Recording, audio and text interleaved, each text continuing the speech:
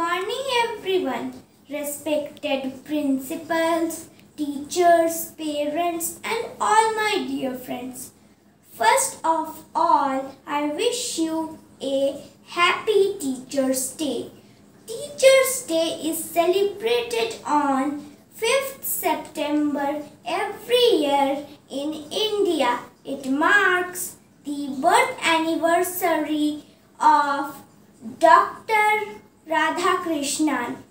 Dr. Radhakrishnan was a great president of India, great scholar and an ideal teacher.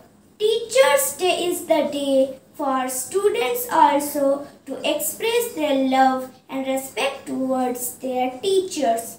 Teachers provide us lively skill and good, good manners, etc. Teachers like our parents help us in each and every step that in that which we have problem.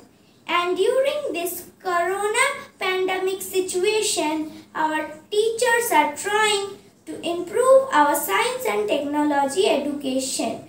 So friends, we must always never forget how our teacher helps us like this. Thank you.